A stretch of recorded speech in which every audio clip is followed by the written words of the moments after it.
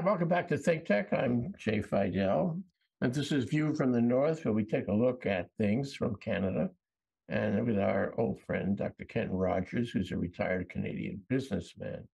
And today we talk about housing, we talk about building housing, um, affordable housing, housing for the homeless, housing. And before we start, I want to tell you a story, Ken. Okay. So when I was a kid, in, the, in I guess it was the 40s, uh, the troops came back from World War II. And the city of New York had this really big um, open area uh, called Flushing Meadow Park. And uh, it was where the World's Fair was in 1939. Where they play tennis nowadays. Um, that's it. That's that's nearby. Okay. And um, so when the troops came back, they didn't have housing, and they were being reunited with their families, their their wives and children, what have you. So the city, or possibly the state or, or the country, built housing for them in the form of Quonset huts. And I remember when I was a kid looking down into this huge valley in Flushing Meadow Park at the west end of it. There were virtually hundreds of these Quonset hut homes, all provided free by the government. So, although there might have been a real crunch in housing at the end of World War II for that part of the country. It wasn't. There was housing for them. The, the federal government or whoever made this, you know, project uh, really stepped in. And I wonder, you know, if the same attitude could exist again, because ultimately we really need housing for a working economy. Don't you agree? Yes, but your housing scenario requires um, basic understanding of supply and demand. You know, what is the supply of the housing and what is the demand for housing? Well, if you have, you know, thousands of people a day arriving at the southern border in the US or, you know, in Canada, we've had the 1.2 million people uh, come in in the last year. Now, to put that into American terms, you'd have to multiply it by 10 you know, you'd have like 11 or 12 million. And even though you got that flood at the southern border, that's still not the same level, but it's getting close.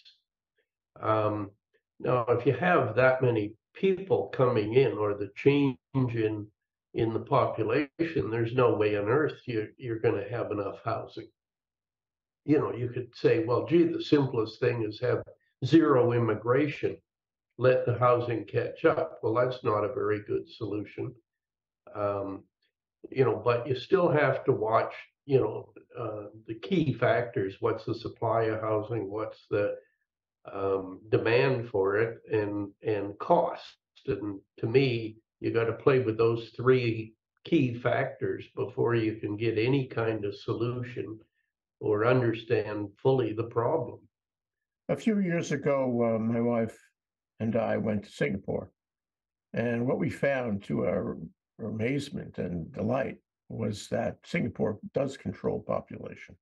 Uh, Singapore, um, you know, takes a lot of people in from the PRC, um, and uh, the deal is uh, it, it it measures the number of people. I mean, there's a controlled immigration, and when they come in, this is so interesting. They are given two things. One is a job, right away, day one. And the second is they're given an apartment on day one. And they pay for the apartment uh, from out of their wages on the job. So they're never on the street. They're never without work. They're never without housing. And you got to hand it to the Singapore government for setting it up that way. We are so far from that. Well, Singapore Singapore has one fantastic advantage over Hawaii or the United States or Canada, and that is it has one level of government. You know, in in Canada, in, in a city like Vancouver, there's really four levels of government. You know, there's the federal government, the provincial government, but metropolitan Vancouver, which I call Vancouver, is made up of, um, you know, eight or 10 separate municipalities. You know, as the city expanded, it's gradually engulfed all of these former suburbs. or former satellite towns into uh, the metropolitan area. Are, you saying that um, the only way or one clear way that we can solve the housing crisis, and it is a crisis, I'm sure you'll agree, um, is by reforming government? Well, I think there's a hopeless task. You know, I, I think, you know, that's like spitting up wind to say you're going to have a, you know, you can't even get um, cooperation between the states and the federal government in the US, let alone municipalities and the states and the federal government. Um, and you have some of these metropolitan areas, or many, uh, most of the big cities in the US are really metropolitan areas made up of a whole bunch of separate municipalities. It seems to me that um, you know housing is got to be one of the critical factors to to civilization, um, to the whole quality of life, to as I said before, an economy, but also you know a civil society. Um, you can't have people living in hovels; it doesn't work. Uh, you can't have them living on the street; it certainly, certainly doesn't work.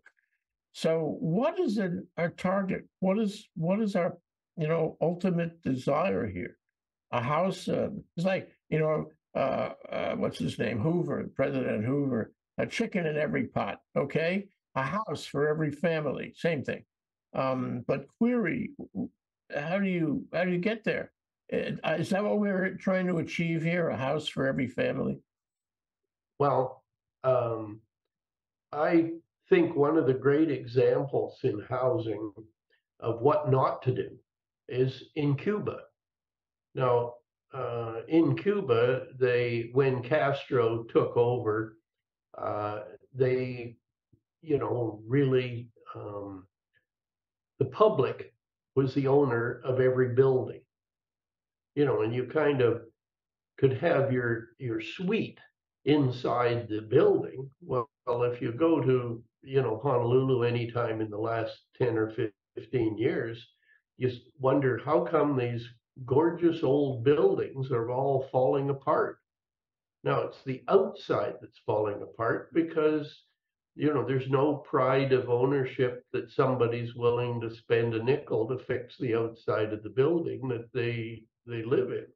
You know, so uh, the idea that the governments, all three levels, somehow would provide the housing, you somehow have to have it so that the house is owned by the person that's living in it, you know, or or they're renting and there is a landlord that's worried about the feeling of the hallways and the stairways and the outside appearance of the building and the yard, etc. You know, your your cities will be a mess and they'll just be a big junkyard if you if it's all publicly owned or let's call it government owned.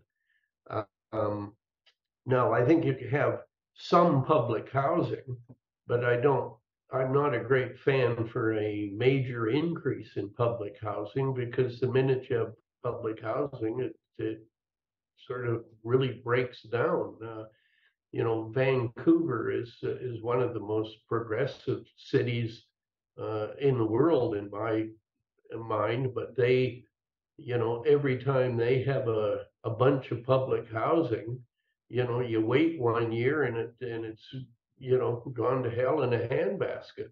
You know, it it really uh, breaks down quickly without that pride of ownership uh, being there, um, and and they try really hard to to keep it up. Now, you know, when Singapore is providing people housing, I just don't know how they do the ownership. You know, like they may provide somebody the house, but you either have a landlord that's watching over very closely. No, I'm, I'm or- talking about they own it. apartments that they own. And so there is a Oh, pride of ownership and they have to pay for it. Um, and it's, it's a transaction where they buy it, um, but it's financed, uh, from part of their earnings. Okay, well, then you really got to get down to supply, demand and cost. You know, one of the, uh, you know, Canada's been experimenting with improving their housing, the same as the US. Um, you know, every city is a little different. Uh, you know, well, I got a couple of examples that I think uh, would give some clues to what one might do in the, in the immediate future, what cities are trying to do now. Um, you know, for, um, the province in Canada that has the highest standard of living um, also has the best cooperation between the provincial government, the city, and the municipal government. And, and that's Alberta. Uh, so that you take city, um, the, the greatest increase in population in Canada has occurred in that province. Uh, in part because it has the economic opportunity, but it has been just flooded with immigration. Uh, an awful lot of it going from other provinces to that province. Now, the way they've provided their housing is they have um, a mixture of the most ridiculous urban sprawl you could imagine. You know, that is, it's uh, both uh, Calgary and Edmonton, the two biggest cities there, um, are just spread out. And, uh, you know, the governments have provided uh, the financing for the utilities and, and so that the, the cost of a new single family subdivision home in, in the suburbs of either of those cities is, is, um, half the price of what it is in either Toronto or Vancouver, Hmm. even though those two cities have grown faster. So you'd have, what have they done that the other, the bigger cities have not done, even though those two cities have a million and a half people each? Um, well, they, uh, you know, they have allowed uh, government financing of the infrastructure fast enough that they were ahead of the um, of the growth rather than behind it. You know, most cities, um, you know, such as in Vancouver or Toronto or Montreal in Canada, the, those the three biggest cities we have. Um, you can always you can tell which way the city's going to grow on the outskirts first because there's a rationing of the utilities. You know, if there's no water, it's not going to go that way. If there's no sewer connection, it's not going to go that way. And accordingly, the price goes through the roof. Um, now, Vancouver uh, picked a completely different approach to solving their their housing. Uh, you know, and they really have um, major constraints, a little bit like Honolulu or say New York City, is the geography prevents uh, too much urban sprawl. You know, you're so you really have how do you increase density? Well, they took neighborhoods that were um, uh, let's say, built up in single family homes uh, after 19, eh, between World War II and 1980, you know, and simply uh, rezoned uh, what was a single family home lot into a higher density. So you could knock down the single family home and build something on it.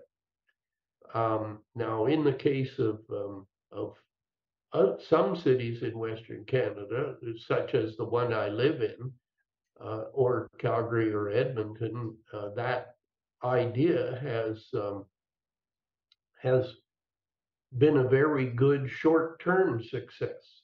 Now, I I emphasize the word short-term because I think it's it's the right idea, but it's not quite aggressive enough to solve the problem. Um, you know, uh, for example, in the city I live in, they uh, Kelowna has about a quarter of a million people. Um, now they took single-family home uh, subdivisions that were built, uh, you know, in the 40 years after the world after World War II, and they rezoned so you could build, um, uh, you know, a fourplex. Well, what happened was the price of the single family home was that they were knocking down to build a fourplex.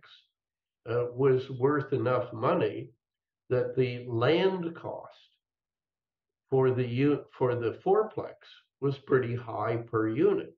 You know, for example, if the house is worth four hundred thousand dollars and you're gonna put a fourplex on it, then the land component in the fourplex is hundred thousand dollars. So right away, what was gonna be built on it was gonna be a, a more upscale fourplex. Mm, You know, instead of, you know, can you build a, uh, a, a five hundred and fifty square foot, two bedroom uh, unit, um, where, you know, a young family, or young, you know, young couple that's planning on having one or two kids could move in and live there till the kids are up to elementary school. Um, you know, well, instead, you know, they were like, you know, thirteen hundred, uh, you know, two thousand square foot units being sell, sold at much higher prices. Um, now, This, this all suggests, Ken, that, you know, um, that government has to be involved, hopefully not, not too many levels of it. Because the more levels, the more bureaucrats, the more bureaucrats, the, the slower the process and so forth. Uh, and, Well- you know, permitting it gets to be a problem, but what I'm, what I'm fishing for here is the, the dynamic of it. You talk about supply and demand. You talk about immigrants coming from far away. You're talking about trying to anticipate uh, what people will want and what they can afford. And it seems to me, uh, for example, that you cannot build static. You cannot say, well, we expect we're going to have X people, X uh, levels of income in this neighborhood. So therefore, we're going to do everything we can um, to have this kind of unit available in that neighborhood. The neighborhood will change.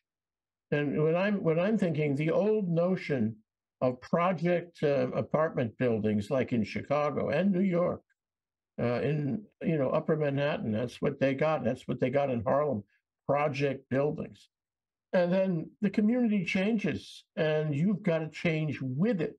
So a modern model. I don't know if anybody's written about this, but a modern model, you know, would be you only expect it to last for so long.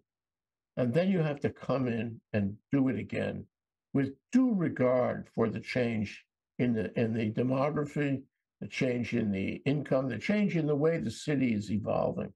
And I'm talking about city because I think that's ultimately where most people will live. Um, but the problem is, I don't think cities care. It's the old notion of infrastructure. You build it, you're satisfied, the government officials change and they move on down the road. Nobody ever thinks about it again. And before you know it, it's old and decrepit. And, you know, it's uh, just an awful experience to live there. Um, so I, I think we have to have a new approach um, to um, reflect the changing community. that, I agree with you. Uh, and, uh, I have a problem with your idea that one level of government can solve it. You know, and I could use an example that, um, uh, if Honolulu chose to use the Vancouver method of providing housing, you know, and, and that was, uh, you know, they ran a rapid transit system, but anywhere the rapid transit system ran, they increased the density to, you know, uh, that would uh, make Waikiki look like it was, had small buildings. You know, the, the, you know, you have, um, you know, fifteen miles from the downtown of Vancouver, you've got, uh, you know, sixty-story buildings being built, um, for uh, apartments. And at a good price, the, you know, the good price for Vancouver, you know, it's still the highest price in Canada, but nevertheless, they're trying and, and they got some good success. Well, if you took Honolulu and you said, uh, you know, an ideal neighborhood for high density would be Kahala. Now, who lives in Kahala? Well, Oh, sing, single family, upper, upper, upper end. Oh, exactly, but if you have ten aldermen, or whatever the city council members are called, probably three of them live in, in Kahala. And you could not get diddly squat done at a city council meeting in Honolulu because of the wealth of the people that now live in Kahala would prevent anything being done other than leaving it as a single family neighborhood. Well, You know, you- yeah, yes, that's true, but remember that they have to live in their district. So um, you, you wouldn't have, um, you know, an inappropriate number of council members from one um, district. The problem is, um, you know, we, we want to do it this way because we've always done it this way. Uh, right? I, you know, I think that's that's universal. Um, and the other the other thing is, uh, you mean you mean we're going to have to spend money on this? We're going to actually have to make a long-term plan. Um, we're going to have to knock down buildings that are perfectly habitable.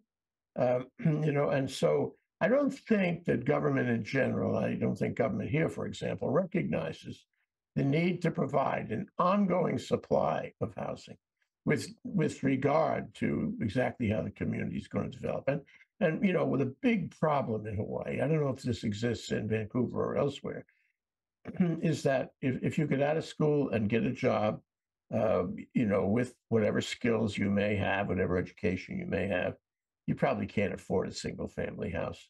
In fact, you can't afford a nice apartment either.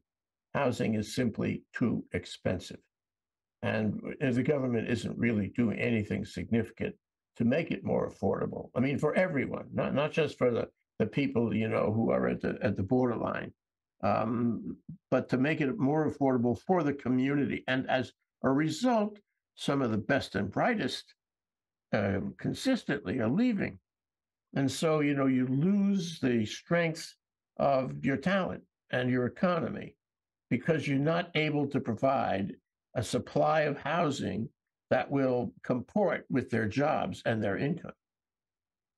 Well, that explanation um, really uh, leads me to the uh, conclusion that I've always had that that there's no simple solution for the whole housing. You've got to break it into little wee components and tackle that component. I'll use one component as an example. Is one of the major problems that um, Canada has, and I believe the US does, is you do not have enough qualified people in certain air, in certain fields. Therefore, universities are very important. But universities, uh, you know, have financial problems, and therefore they're really, really anxious to allow foreign students to come in and, in effect, squeeze out local students. Well, in Western Canada, the foreign students are one of our major problems causing our housing crisis. We don't have enough, you know, residences. So if you say, well, let's take a, a general theme. We would like to have more local people at university. We'd love to have foreigners come and help support the university, especially ones we could encourage to train here, learn everything about Canada or the US while they're here, and then stay, you know, uh, use that expertise expertise they have, whether it's engineering with, uh, you know, uh, you know, a techie engineer, uh, or whether it's, uh, you know, for medical purposes. Uh, but then you got you need to have that housing. So so say if you took one whole theme, a chain, and say more universities, more foreign students, more local students to you know, up the standard of living by and fill the gaps that we have in employment, but provide a ton of student housing, both married couple and single ones. Um, and uh, and so you can say, okay, there's one solution, you know, or one piece of the housing crisis is is you know you start at the end that makes the economy churn the most.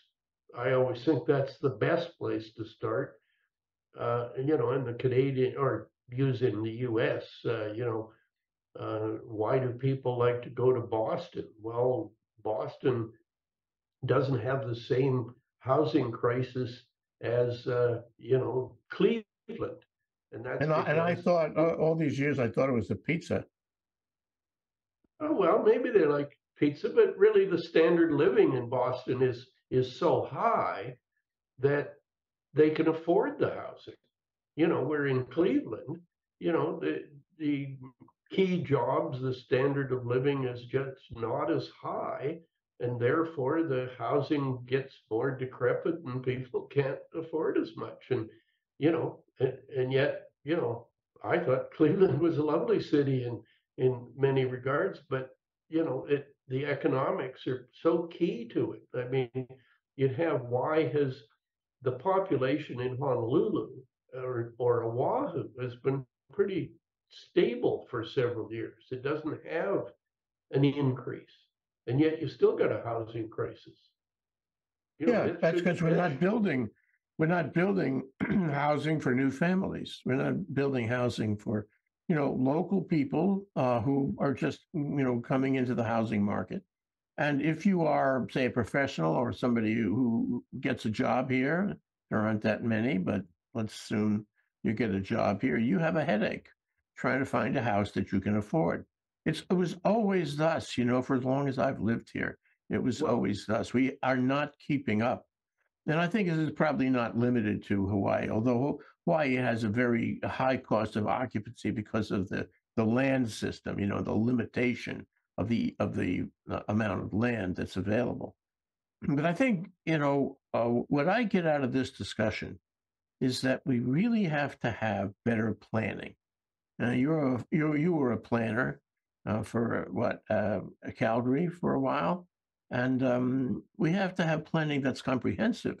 We have to have planning that looks down the road. We have AI now. We have all this data available. We can figure out who's coming, who's going.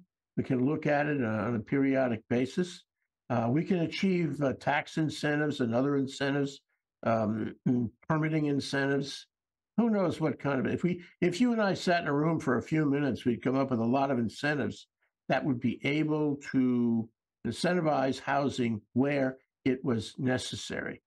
Um, you know, I'm not saying you know that it's it's the kind of planning that would happen in a totalitarian society, um, but I'm saying that we don't. We in the democratic society, we really don't. You know, have enough planning, and it should be planning not on a gross economic basis, although that would be nice, um, but on a um, on a housing basis. And after all, that is on the ground. That is where you live. That is where your quality of life is is most poignant. And I don't think we're doing it. And one of the the metrics of that is all these people that are homeless. One of the metrics of that is all these people get thrown out of their homes because they can't afford the, the mortgage that they signed, uh, or they can't afford the rent that the landlord, you know, charges them. Um, it's it's out of sorts, isn't it? And it's a macro problem, isn't it? And it's ultimately a government problem if things are in disarray, isn't it? It is to a great degree, but if I were to uh, and make a cynical way to describe Hawaii's unique housing crisis, because it is not the same as other places, is that the the cost of living in Hawaii is sufficiently high that the um, standard of living is not high enough to cover the cost of housing. You know, that is uh, my example of Alberta or Boston, you know, is where they have the economics come first. And the economics are people are coming there, you know, kissing the ground to get a job there because they're just such wonderful jobs at high pay. You know, well, then you can afford the extra costs to ship stuff. Like Hawaii needs to devise um, high paying jobs to offset the the cost of living. Bingo. You know, That's it. like- You like have to improve your economy with, with better skills and high paying jobs and exporting, you know, either goods or services, intellectual property, what have you. Because if you stay in, you know, the we do it this way because we always did it this way mentality, what happens is people leave. They they they vote with their feet and they they take off, and then you have a um, you know a declining community, and and I suppose uh, you deserve that because you didn't plan against it. You deserve that because you didn't uh, you know uh, incentivize uh, uh, sectors that were more profitable and more attractive to young people. I mean, Hawaii has that. I'm sure a lot of cities have that. And, and what's interesting is if you look at some cities, you will find they don't have that problem. That they are, you know, producing a sector that is profitable for young people to buy houses. There is housing. It's, I mean, this has got to be examined and and and, and democratized, if you will. Uh, my problem is that I don't think that capitalism by itself solves this problem. I think we have clear indication that capitalism by itself um, creates a worse problem all the time. So you have got to get a benign, um, uh, caring government in, uh, a, a, government that will hang around for a while, a government that will not be, um, you know, skewed by politics and the like uh, for, you know, immediate uh, gratification, a government that will look over the horizon and figure it out. We don't have that. Well, if if I'm to look at the current mess in the U.S. Congress, you know, you certainly can't depend on, on one of the parties for anything. Um, and uh, however, uh, the excuse me, the um, key though to um, to the housing is to try to get uh, the public side of it to work well with uh, private enterprise. That is, I think there is no industry that has as many entrepreneurs as you know real estate development. I mean, real estate development by its very nature is is entrepreneurish, and so the best of capitalism can come. And the role of government, whether it's municipal planning or financing can steer that. You know, there's there's no industry where if you stick out a carrot, they'll go for it faster than anybody else. You know, well, uh, your situation where you're sitting in in Honolulu, if you could start from scratch, you'd say um, where Ala Moana Shopping Centers, one of the neatest shopping centers in the world. But if you could start over again, you know, you could have the the whole parking lot, including underneath all the existing buildings, would be, you know, a couple levels of parking. And then, but you'd basically say we'd like to have maybe 5,000 people live on that piece of land. You know, would like some, a whole project of housing A, a project that's center. built with modern technology, mar- modern planning, you know, at, at- at the very cusp of the way you do planning now, instead of the way you did planning in 1950. Um, you know, the world has changed. And Very uh, so, I mean, you take Ala Moana, I mean, it, they, they, what they do is they add on to it. And it, it's worth several billion dollars, but um, they add on to it. And nobody, nobody says, hey, we're going to have to, you know, take this down to grade and start again and all that. They always find a way. Hawaii is really special about this. Always find a way to remodel something when really they should be rebuilding it, you know. Um, it's Well- cheaper and you don't have so much permitting limitation. Well, I, I'm just trying to get the idea that, that new commercial space should be designed as mixture. You know, if you, if you want to have, um, high density that that really works, like the city of Vancouver is accomplishing, um, you know, way, a long ways from the city center, but right on, you know, mass transit, uh, system. You know, you can say like, um, when I first visited New York City, I was, I was fascinated with the Rockaway area, way out in the, the far edges of, of Brooklyn, were these absolutely humongous, gorgeous buildings. Well, they were at the end of the train line. You know, so even though it was a few minutes longer to make it to downtown Manhattan or to midtown Manhattan or to anywhere else in the metro for, for wherever you worked, what a great place to live. You know, you, you were on the ocean, you had great views, you know, and you could take the express train in. Well, Vancouver, they, they've kind of, that's what they've been doing. Like they had comp, uh, with virtually no cooperation from upper levels of government, the metro government, kind of the the city of Vancouver and the surrounding municipalities together, once they got the upper level government's assistance to build the their um, light rail transit system, then they had these mega hubs.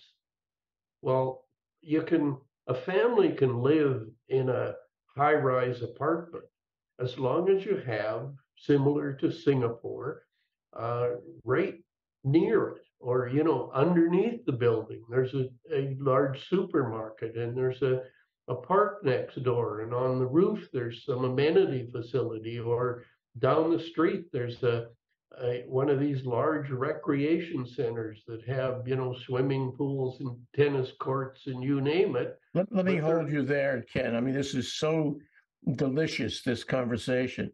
Uh, this is a planning conversation. This is a conversation about about answering the, you know, the original question. How do you improve quality of life? So it's uh, it's affordable, as it draws people, it gives them a good life they can afford. It's a wonderful kind of result. Um, and um, I, I want to discuss this with you more. I hope we can do that next time we've only begun a conversation that really is very important one and, and beyond the boundary of, of most cities in this country anyway. We got to go now, though, Ken. Thank you very much. See you next time. Aloha from canada Aloha from Hawaii.